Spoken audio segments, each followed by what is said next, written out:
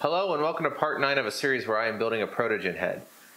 In the last part, I said that I wanted to get a lot of stuff done on my week off from work over the holidays, but unfortunately that didn't quite happen. I ran into some issues working on stuff. I also injured my finger, which set me out of action for a couple of days. And just a couple of other things meant I really didn't get much progress done. I had said that I was hoping to get this done in time for Further Confusion, which is currently in just under a week.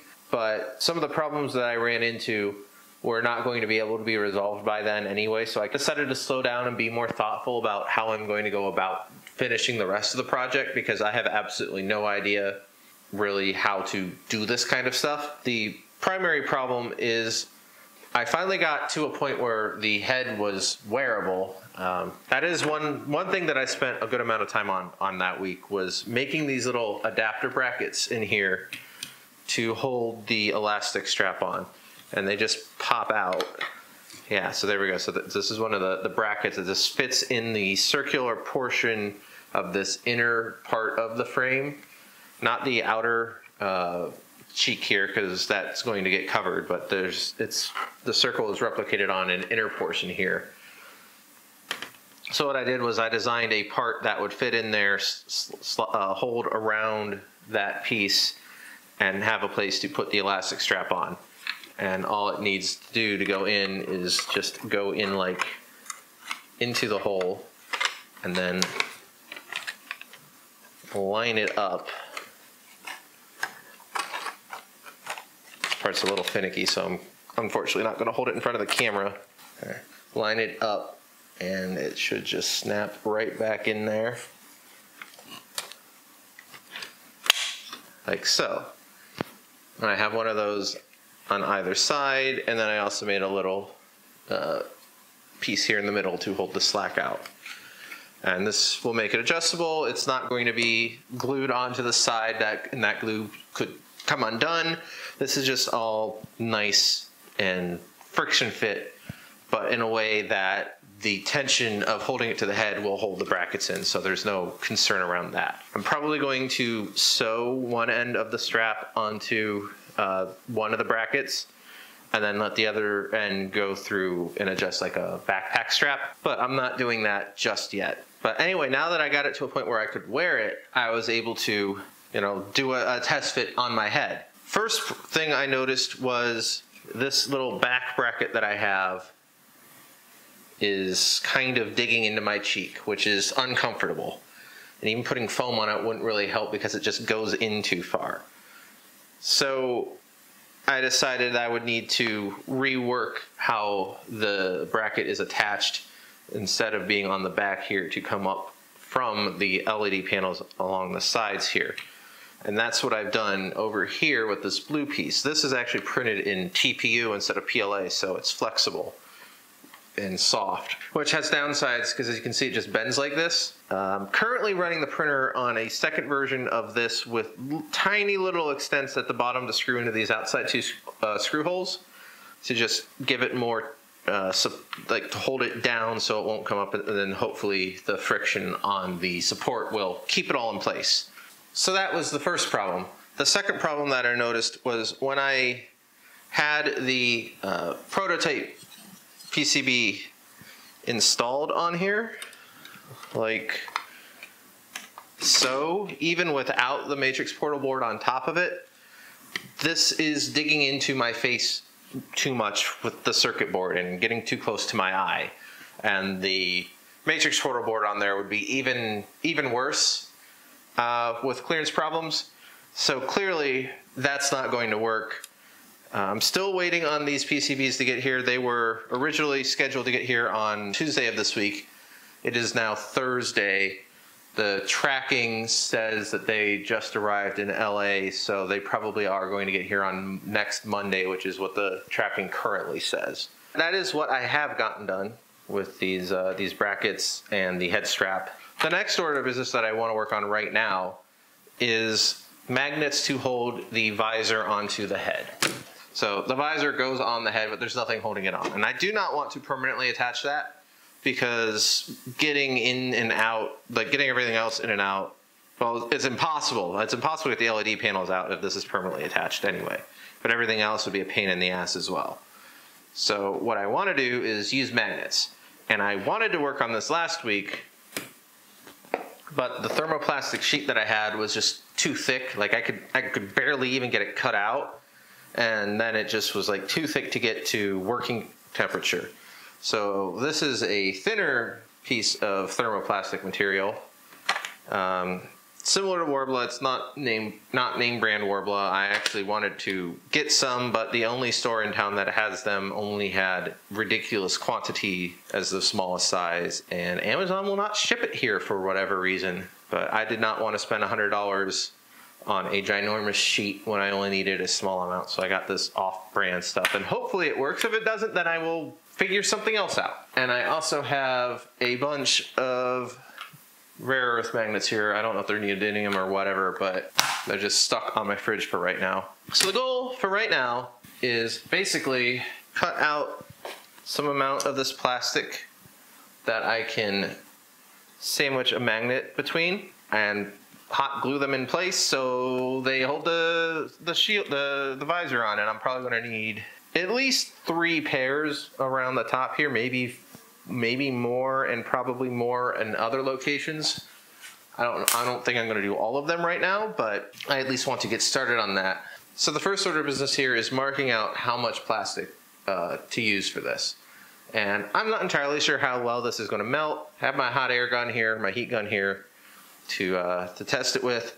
Yeah, I'm just going to cut an amount out and we'll try melting them and smooshing it around because I have no idea how this is going to work. So let's just do it and see what happens. So it looks like we probably want about that much. That's probably not the right aspect ratio, but whatever. And then on the other side, we probably want about that much. Which again is probably not the right aspect ratio, but I don't know exactly what I'm doing here. So we're just going with it. So now I need to cut this out. Hopefully these scissors will cut. It's very difficult to cut through here, but it is working. Oh, I didn't mention this earlier, but we are in my kitchen right now because that is the only large working surface that I have available. The workbench I have set up doesn't have a very large flat surface to work on, as you've noticed. But the main limiting factor there is I don't have an outlet that I can plug the heat gun into that won't cause a problem with a circuit breaker because this thing uses a lot of power and that uh, only a 15 amp circuit over there but it's got my file server and a, you know other stuff on it so I don't really want to run this on the same circuit as that computer. So I have to be in the kitchen, which has two 20 amp circuits in it and basically nothing else running at the moment. Okay, so let's get this out of the way. I have no idea exactly how this is going to work, so we're just going to have to try it. And I think I probably want the textured surface out with a hot glue So let's just try it and find out. And I'm probably going to mute the audio of this portion because this heat gun is not quiet. Well, it's not as loud as I thought it was, but so I don't know how long I need to be blowing the hot air at this stuff. The other problem is like once this stuff is hot, it's probably going to be difficult to move or handle. So like I don't really know what the correct methodology of doing this is.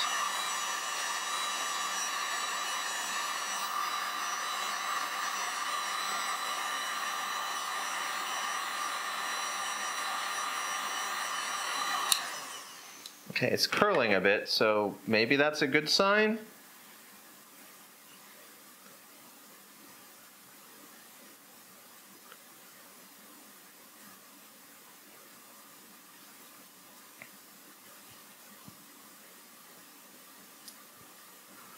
This is very warm and difficult to handle.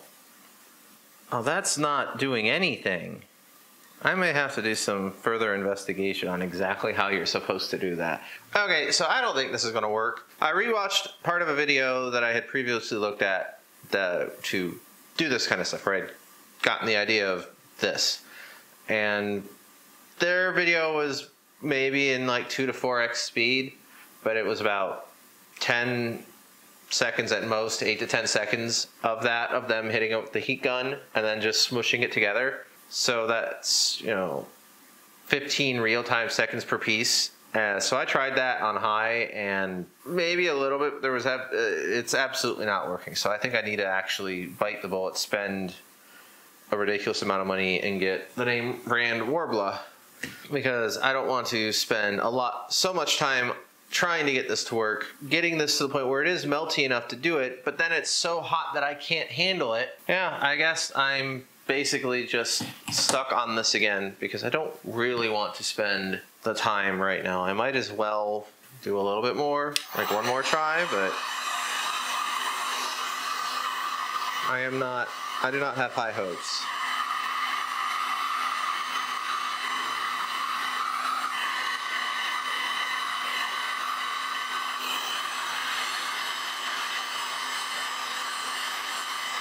Maybe I was hitting the wrong side. This side is getting like super glossy with the application of heat. Maybe that matters.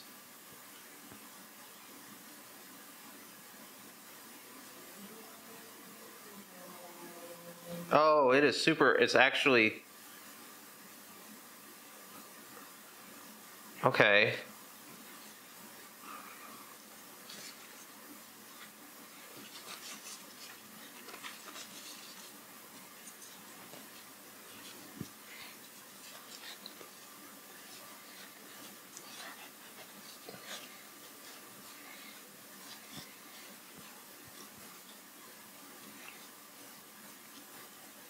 That might actually be working. I guess it depends which side you heat it up on, or I just wasn't quite hot enough last time somehow.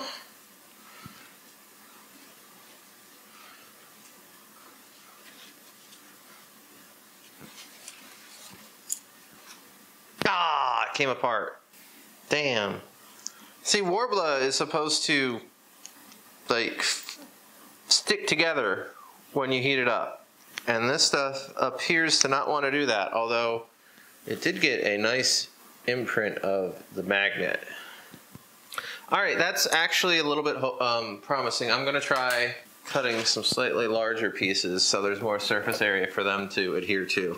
Because when I rewatched the video, they were using bigger pieces and trimmed it down afterward as needed. So I'm going to try to do that as well.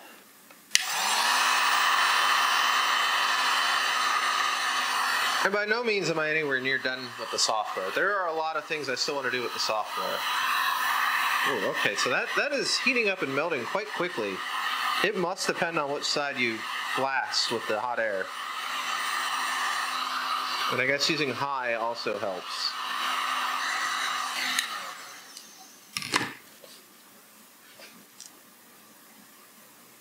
Oh wow, that is super. Look at that.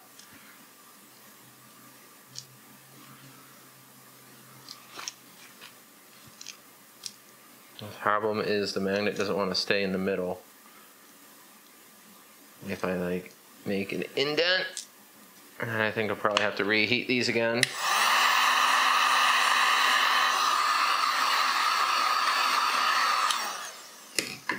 Problem may also have been that the heat gun hadn't gotten the temperature previously.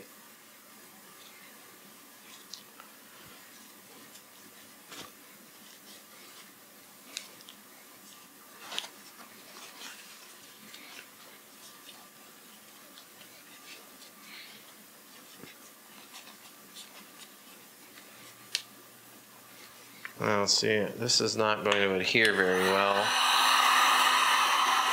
I don't want to just glue the magnets straight to the stuff because they're tiny and I don't want them to get lost if they fall off. But I also need to offset at least one of them so they can actually overlap. But I feel like this is just too not quite what I need. As a person that in the video was just working it with their bare fingers, I did not seem to be having any problems so doing. And this stuff is incredibly warm, even through multiple layers of paper towel. And I bet this isn't going to stay stuck together like that. Whew. And it's still way too hot to handle. Yeah, it doesn't, it seems like it's not going to stay stuck together. I mean, I suppose all I need is for it to get formed around the battery and then I could, if needed, glue those two sides together. But I think I should at least still try to get some actual Worbla to like do this better. Like you can hear the magnet rattling around inside there. Uh, this is still kind of warm, so I don't want to do too much to it yet. Let's go ahead and let it cool. These are just going to be too tiny. I'm going to get rid of these. I'm going to make one more because I might be able to make one mount here. Oh yeah, look at that. As it cooled down, it got to a point where it just came apart. Well, that's rather unfortunate. Try just gluing this together and seeing what happens. Anyway, while that is heating up, I suppose I can get started on another one of these.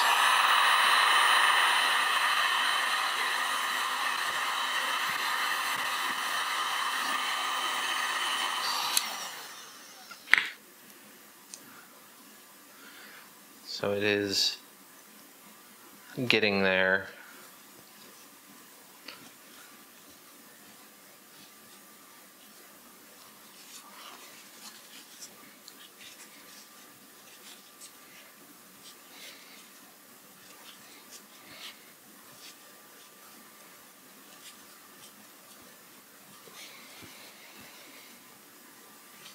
Uh, I suppose polarity of the magnets actually kind of matters here. Shoot.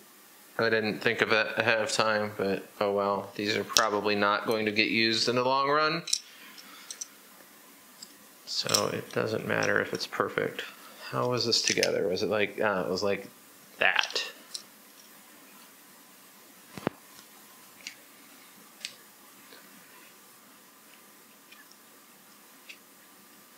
Oh god, this is such a cheap hot glue gun. It also doesn't seem to be feeding the glue stick very well. Oh.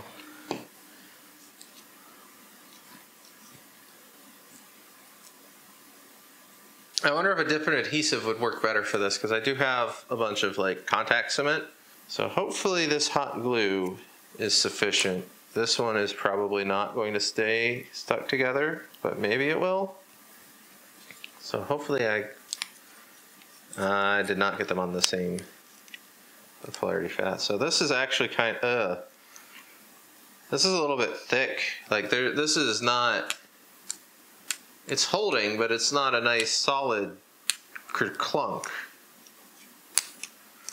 And I, I guess that's because this plastic is so thick. So that's another reason to get actual Worbla because I think it's a bit thinner. Because going through two layers of this is problematic when you when you look how strong these magnets are directly. That's a nice satisfying snap. And it, it takes effort to like even at this distance they're very strongly attracted and this guy is, you know, it's supporting the weight of the other one, but mm, okay. It was better than I thought it was going to be. So, oh, and while I still have the hot glue gun, oh, yeah. Oh, no, the one that was hot glued came apart, but held the magnet in. So clearly hot glue is not the, uh, the solution for holding these together. It might not even be the solution for putting them on the head. So I think for now, I am going to just pause this project again and attempt to get some name brand Worbla and see if that works any better. Yeah, this hot glue is not very amazing. This one seems to be stuck together. Uh, say as I start peeling it apart, I definitely hear, heard it and felt it crack. Yeah. Yeah, it was stuck together until I, not even that strongly, tried to pull it apart. So, okay. Well, that experiment was a failure that's just kind of how it is when I'm trying to figure out what the hell I'm doing here. So, other things that I can be working on while I try to get Worbla. Uh, I'm still working on finalizing the exact mounts that I need inside the head frame to hold everything, to hold the LEDs in place. Uh, as I mentioned, I was printing another version of that back mount frame adapter thing in TPU with a little bit more structure, like the extra two screw holes that finished printing when I was talking during this video. So I will probably attempt to install it later tonight to see how that works. I know that at some point I need to rework the artwork on the face because of how much of the panel is stuck back behind here. Uh, so I know the current fate, the current mouth like goes back here, the eyes a little bit back here. So I just got to move the stuff, resize the size of the mouth, just make it all fit. I may eventually try smaller LED panels, but I'm not doing that right now. Uh, so I can be working on that part of the software. I'll probably do that this weekend if I can't figure out anything else to do. I need to figure out how I want to adhere the uh, material to use for the skin, the outside surface to the head. I tried making a little adapter, test adapter thing to see about, you know, just having something slide on here and then be able to like contour the outside of my head. Uh, this kind of works, doesn't quite work. It doesn't quite line up here at the top. And it also runs into issues on the sides here. So this is just very difficult to measure because it's curves and multiple axes. So trying to, I might try to mess with this a little bit more because I just want something that goes back around here to hold the, the stuff taut. So maybe do that. I don't know there are things that I can be working on and should be working on, and I will be trying to work on moving forward um, now that I've officially given up trying to get this done in less than a week. That's just not going to happen. Thanks for watching. Stay tuned for next time if this is interesting to you. I'm trying to get back to the weekly cadence of updates, so this very well might just be a short non-update of not being able to get much done. Like, comment, subscribe, you know the drill. Uh, thanks for watching.